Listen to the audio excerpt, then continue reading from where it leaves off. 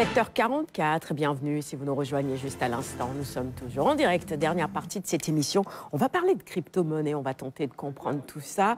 Euh, on est toujours dans l'univers dans du numérique. Hein. Peut-être que c'est la solution pour nos économies, qui sait. En tout cas, on pose la question ce matin à Mohamedou Kouta, qui est le CEO de YT Technologies, conseil et développement de solutions basées sur le Bitcoin à Lyon. Voilà, et c'est un honneur, sincèrement, pour moi de de, faire cet entretien avec ce jeune au parcours aussi euh, si inspirant. Mohamedou Kouta, autodidacte euh, et amoureux surtout de la finance euh, décentralisée.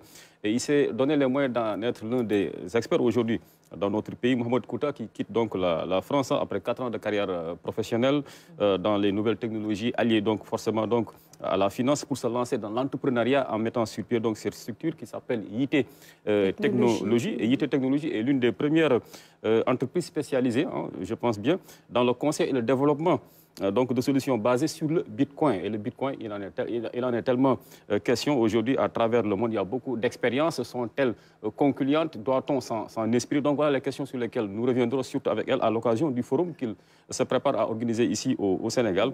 Et ce forum s'appelle donc Dakar Bitcoin Days. Alors, pourquoi vous avez décidé d'abord de vous spécialiser dans ce secteur-là, dans, dans ce domaine si complexe qu'est la crypto-monnaie, Mohamed Ok il faut prendre le mot crypto-monnaie. Donc, vous avez crypto pour la cryptographie et monnaie. Donc, moi, j'ai fait d'abord des études en finance de marché. Mm-hmm. Donc, la finance de marché, c'est être euh, dans les banques de financement et d'investissement, dans les équipes de trading. Donc, moi, j'étais dans la partie gestion des risques. Donc, j'ai toujours voulu, en fait, surveiller ceux qui manipulaient l'argent. Maintenant, en faisant ce travail, je me suis très vite renseigné et j'ai très vite vu, en fait, que notre système financier classique avait certaines limites. Mm-hmm. Et parmi ces limites-là, c'est la politique monétaire qui est aujourd'hui mise en place par la plupart des banques centrales, notamment la politique de planche à billets, où les banques ne font qu'imprimer des billets et qui ne descendent pas dans l'économie réelle. Aujourd'hui, on a vu une hyperinflation qui touche tous les pays, même le Sénégal. Euh, on a un problème d'inclusion financière parce qu'actuellement au Sénégal, vous avez 20% des gens qui ont un compte bancaire, vous avez 40% des gens qui ont un compte bancaire ou bien un wallet mobile money. Donc, que font 60% restants voyez Donc, on a un vrai problème avec l'argent. Mhm. Donc, euh, en 2017, je suis tombé en discutant avec un collègue sur ce concept de crypto-monnaie. Mhm. Donc, au début, ce n'était pas Bitcoin, c'était juste ce concept-là, parce qu'il mhm. savait que j'avais un, esprit un peu panafricaniste. Donc, avec ce qui se passe avec le CFA, même si on ne va pas rentrer dans le détail, je me suis très vite intéressé à ça. Donc, c'est en faisant des recherches que je suis tombé sur le Bitcoin en faisant des recherches sur le Bitcoin, je me suis rendu compte qu'on a en face de nous une monnaie décentralisée qui pouvait nous permettre en fait, d'atteindre cette autonomie financière-là. Mm. Donc voilà comment je suis entré un peu dans ce monde des crypto-monnaies. Vous avez dit que surveiller, ça vous intéressait. Est-ce que quand on parle de crypto-monnaie, ce n'est pas le contraire? Là, on ne peut pas surveiller, on ne sait pas d'où ça vient. Euh, est-ce que ce n'est pas plus complexe la surveillance justement Il n'y a pas ce contact rassurant avec le biais. En fait, je pense que c'est une question de perception. Euh, j'en parlais hier avec d'autres personnes. On a l'impression qu'on connaît l'argent. On a l'impression qu'on connaît la banque. Mhm. On a l'impression qu'on connaît notre système financier.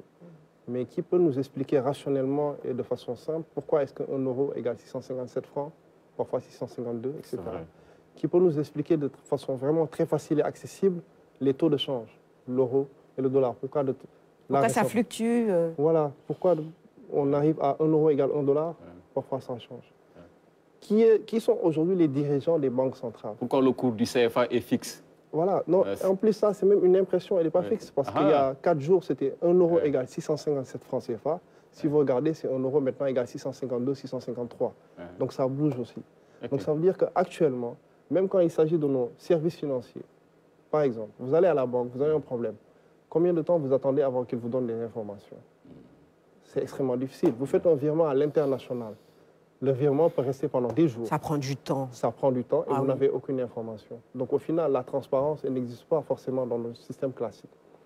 Qu'est-ce que Bitcoin vient apporter? Apporter comme solution. Voilà. On est dans un système décentralisé qui est totalement transparent. Donc c'est-à-dire que c'est un protocole informatique qui sécurise nos transactions. Et via ce protocole, informatique, lorsque je te fais une transaction, il y a euh, un ID de cette transaction-là, c'est-à-dire un identifiant de cette transaction. Vous pouvez aller sur des sites sur Internet, vous mettez cet identifiant, vous êtes au courant où est-ce que est la transaction, est-ce qu'elle est bien arrivée, mm. est-ce que vous l'avez bien reçue, etc. Mm. Donc ça, déjà, c'est un gage de transparence, c'est un gage de sécurité. Mm. Bitcoin aussi, qu'est-ce que ça apporte? Vous êtes votre propre banque. C'est-à-dire que vous avez un wallet sur votre téléphone, vous avez ce qu'on appelle une clé privée. C'est votre clé de coffre-fort. Personne, à part vous, qui détient votre clé privée, ne peut vous confisquer vos bitcoins. Est-ce que c'est le cas sur, sur notre système financier classique? C'est vrai. Vous voyez? Oui, mais c'est dans le virtuel. Là, il y a un préjugé qui tombe, donc c'est bien sécurisé. C'est extrêmement bien sécurisé. Actuellement, il faut considérer que si vous mettez en commun mhm. la puissance de calcul de Google, de mhm. Microsoft, de Facebook, etc., ça n'atteint même pas la moitié de la puissance de calcul de Bitcoin mhm. pour pouvoir sécuriser les transactions. Dès lors que je vous envoie un Bitcoin, il vous est impossible de... Enfin, il m'est impossible, moi qui vous ai envoyé le Bitcoin, de les reprendre. Lorsque je vous fais un virement bancaire, il y a des systèmes qui existent pour que le virement soit retourné. Et il y a des gens qui ont profité de ça. Lorsque je vous fais un envoi sur Wave, par exemple, il suffit que j'appelle Wave, il me renvoie l'argent. Ça n'existe pas sur Bitcoin. Mais si on se trompe, parce que parfois on se trompe de destinataire, on a bien besoin de récupérer l'argent. Et là, on est dans un changement de paradigme. C'est responsabiliser la personne par rapport à l'argent. Hmm. Tout d'abord, pousser la personne à se renseigner sur qu'est-ce que l'argent. Hmm on passe d'un système où on a tout délégué à un système financier classique. Mm. C'est-à-dire c'est la banque qui garde votre argent et elle vous prélève des frais. Vous voulez faire un virement, elle vous prélève des frais. Vous voulez faire du transfert d'argent à l'international. C'est des frais pour tout. Voilà, donc puisque pour utiliser votre argent maintenant, vous devez payer quelqu'un, Bitcoin vient vous dire, vous gérez vous-même votre argent et donc vous prenez les risques que ces banques-là prennent ou bien que ces institutions financières prennent. Donc c'est un changement de paradigme. Alors, le sujet n'est plus tabou. Hein. Maintenant, on parle de plus en plus donc, de, la nécessité d'avoir une réelle souveraineté euh, monétaire. En Afrique, il y a des expériences, ça a commencé dans un pays et ça a surpris plus d'un, surtout la Centrafrique, quand on connaît son niveau de développement peu élevé, qui a osé et qui euh, aujourd'hui dispose de sa propre crypto, crypto-monnaie. Est-ce qu'on devrait s'en inspirer? Est-ce que cela pourrait être vitalement donner un, coup d'accélérateur au panafricanisme, donc à travers aujourd'hui donc l'instrument monétaire? Je pense que ça devrait nous pousser à réfléchir. Parce qu'actuellement, il faut réfléchir vraiment sur qu'est-ce que nos monnaies nous ont apporté, nous, en tant qu'économie africaine, en tant qu'économie sénégalaise. Elle va répondre à la question. Voilà. non, allez-y. En tant qu'industriel sénégalais, mhm. en tant qu'importateur et même exportateur sénégalais, le franc CFA, c'est un frein. Mhm. Ils vous le diront. Mhm. Euh, lorsqu'ils doivent passer par les banques qui leur prennent des 10% de frais pour faire un virement à l'international, c'est un frein pour se développer. Lorsqu'on doit faire des transactions à l'étranger, en tant que personne ou même en tant qu'institution, c'est un frein. Lorsque nous, Sénégalais, on se retrouve à payer plus cher que l'Européen pour le même produit qu'il consomme, ça c'est un frein pour nous. Notamment pour, pour, sortir de la pauvreté. Tout à l'heure, vous parliez de mhm. classe moyenne. Vous voyez. Mhm. Donc actuellement, utiliser une crypto-monnaie comme le Bitcoin, ça peut permettre plusieurs choses. Il n'y a pas de barrière quand il s'agit de faire des échanges à l'international. Mhm. Je peux parler avec un fournisseur à l'étranger qui se trouve tout près en Gambie ou bien qui se trouve en Chine ou bien au Canada. Je lui fais un transfert de Bitcoin ça prend maximum 10 minutes. Mais qui est ce fournisseur? Est-ce qu'on peut savoir qui c'est? Est-ce qu'on arrive véritablement à, contrôler? Parce que là aussi, il faut quand même surveiller, non? Non, en fait, je prenais le cas où... Parce que l'argent... Euh, imaginons, je suis un, importateur de riz, tout simplement. Mhm. Donc, je vais acheter mon riz en Thaïlande, je viens le vendre au Sénégal. Dans le système financier classique, je dois parler avec mon fournisseur, il va me donner son compte bancaire, je dois lui faire un virement bancaire, mhm. après, etc., etc. Ce virement bancaire-là va me coûter beaucoup d'argent. Vous voyez? Plus les services que vont me facturer la banque, etc.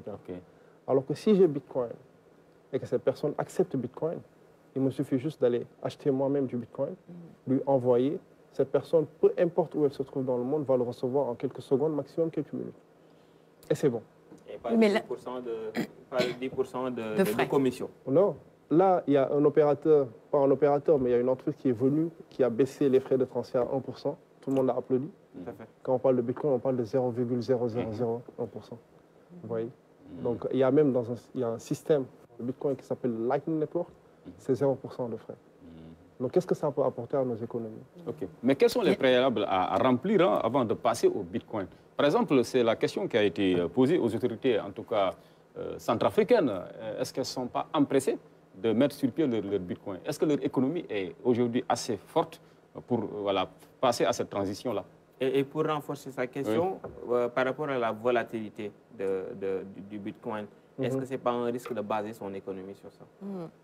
Le bitcoin est un actif déflationniste. Et je pense que ça aussi, docteur pourrait vous en parler tout à l'heure. C'est-à-dire qu'on est dans un écosystème, dans un environnement inflationniste. Mhm. Les prix de tout augmentent. Exactement. À l'inverse, le bitcoin, puisqu'il est limité, et puisque son adoption ne fait qu'augmenter, on va dire que la demande est supérieure à l'offre. Donc le bitcoin, à travers les années, ne va faire qu'augmenter. Quand on parle de volatilité, c'est une volatilité sur le court terme. Donc là, si on prend sur les cinq dernières années, en 2017, le bitcoin valait 2000 euh, dollars.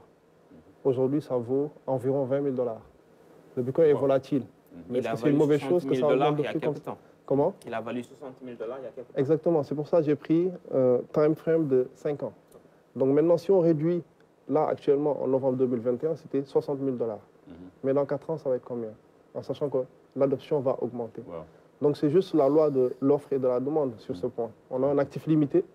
De temps en temps, il y a de bonnes nouvelles, comme l'étude d'Elon Musk dont on a parlé tout à l'heure, qui font que les gens vont beaucoup acheter parce qu'ils vont anticiper, et ça c'est de la spéculation. Mais si on regarde les utilisations concrètes du Bitcoin, vous avez plus de 30 000 commerces dans le monde qui acceptent le Bitcoin comme moyen de paiement. Vous avez deux pays dans le monde, donc le Salvador et la Centrafrique dont vous avez parlé, qui ont créé un cadre légal et donc qui ont inscrit le Bitcoin comme monnaie légale mhm. à côté du CFA pour la Centrafrique et à côté du dollar pour le Salvador. Mhm. Vous avez de plus en plus d'entreprises qui mettent le Bitcoin dans leur trésorerie. C'est-à-dire, il y a une entreprise qui s'appelle MicroStrategy, mhm. qui est développée, euh, qui est dirigée pardon, par un gars qui s'appelle Michael Saylor. Donc, c'est aux États-Unis. Il a mis des milliards de dollars de Bitcoin dans sa trésorerie. Parce qu'il s'est dit une chose. Si jamais, moi, tout cet argent-là qui est là, qui s'entasse en caisse et dont je n'ai pas besoin, je le laisse en dollars, le dollar va perdre la valeur, mon argent va perdre la valeur et je vais perdre. Donc je vais plutôt acheter du bitcoin, je vais le mettre de côté. Et donc quand ce bitcoin va prendre la valeur, moi-même, je vais m'enrichir et mon entreprise va s'enrichir. Mais dans ce cas-là, de manière très simple, on sait que dans les transactions, il n'y a pas que des gentils il y a aussi des transactions illégales, il y a des gens qui ont des activités tout à fait illégales, qui essaient de passer de l'argent par-ci par-là, etc. Est-ce que dans le cas du Bitcoin, de la crypto-monnaie, il y a également des instances qui surveillent?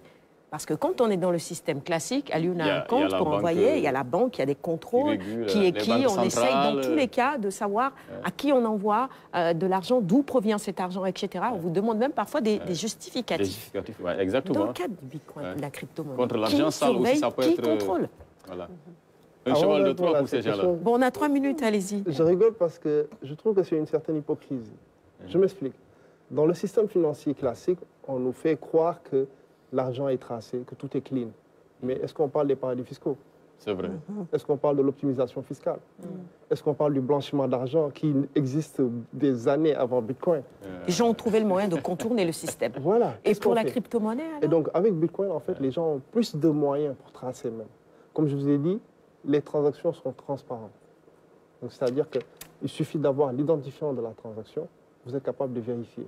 Donc actuellement, étant donné que nos pays n'ont pas vraiment pris le temps de jeter un coup d'œil là-dessus, et là, la dernière fois, on est parti à l'Assemblée nationale, on a invité euh, le secrétaire général ah, de l'Assemblée nationale au forum. Ils n'ont pas encore régulé, donc il n'y a pas encore. Mais est-ce qu'ils comprennent déjà nos, décideurs, est-ce qu'ils ont bien compris euh, tout cela, tous ces enjeux-là liés au, Bitcoin? Et pour répondre à votre question tout à l'heure, le préalable, c'est déjà l'éducation. Exactement. Et c'est pour ça qu'on a créé ce forum. Le Dakar Bitcoin. Parlons donc du, forum. Euh, il aura lieu au mois de décembre. Hein. C'est le 2 et le 3 décembre. Concrètement, vous n'avez qu'une minute pour ça. Allez-y, il a raison. Alors, le Dakar Bitcoin Day, ce sera un forum dédié au Bitcoin qui aura lieu le 2 et le 3 décembre au Grand Théâtre. Mhm. Donc on va parler d'abord de monnaie, expliquer aux gens l'histoire de la monnaie, expliquer le Bitcoin et différents aspects du Bitcoin comme la cryptographie, la sécurité et tous ces autres aspects qui sont importants et que les gens doivent connaître. Et l'élément le, plus important, c'est que c'est un forum gratuit. Il faut juste aller sur le site dakarbitcoindays.com et s'inscrire. C'est tout. Docteur Fatou Sissé, commentaire. Euh, euh, en tant qu'économiste, nous, croyons que l'innovation fait partie du processus de développement. Mhm. Et je vois le Bitcoin comme étant une innovation dans le secteur financier. Euh, je voulais seulement savoir quelle sera la coexistence entre nos banques traditionnelles et le Bitcoin. Je sais que nos banques ont des coûts élevés. Et cela freine beaucoup euh, l'investissement dans, nos économies. Mhm. Et pendant des années, on en parle sans qu'il y ait véritablement des efforts pour une réduction des, des, coûts des crédits bancaires. Maintenant, est-ce que la, le Bitcoin, euh, qu'est-ce que ça apporte de plus? Mhm. Je ne sais pas, je ne pourrais pas le dire. Et ce que je sais est que, comme pour les banques, ça demande beaucoup de sécurité n'est-ce pas? Ça demande de la sécurité, mais peut-être au préalable, comme ils l'ont prévu, c'est une bonne chose de sensibiliser, d'informer sur c'est quoi le Bitcoin et qu'est-ce que ça apporte de plus par rapport aux banques, etc. Et quels sont les dispositifs euh, mm. légaux et sécuritaires. Et c'est pourquoi ils organisent le Dakar Bitcoin Days en décembre, c'est bien cela 2 décembre On prend date, il faudrait qu'ils reviennent sur le plateau. Hein. On prend date avec vous, vous reviendrez sur le plateau.